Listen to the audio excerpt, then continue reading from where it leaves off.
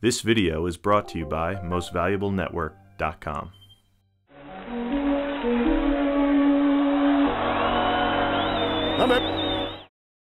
Jared Sutton. I'm from uh, Kinston, North Carolina.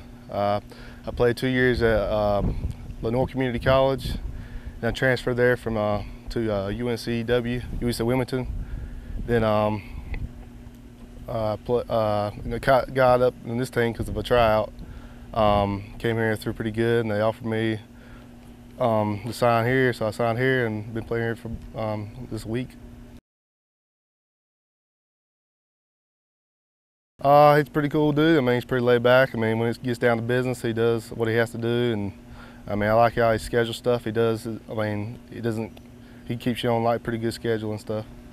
He hasn't really put down a whole a lot of rules or anything really I could, that I can think of. But I mean, you know, not to mess up or anything like that. Well, he's been around for a while, so I mean, obviously he's got to know something about the game. I mean, he, as far as I can tell, he's done a pretty good job, and I can tell he knows what he's talking about.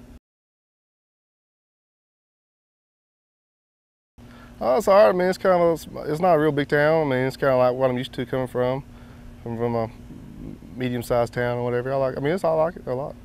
New faces around town. I mean, they know a bunch of us. It's a small town. They don't know. They know we're not from here. So I mean, uh, I'm kind of used to it. The humidity and the heat. I mean, it's not as much as the bugs out here. It's like the first couple of nights where the bug, the bed bugs are eating me up in the hotel. Oh, yeah. But yeah.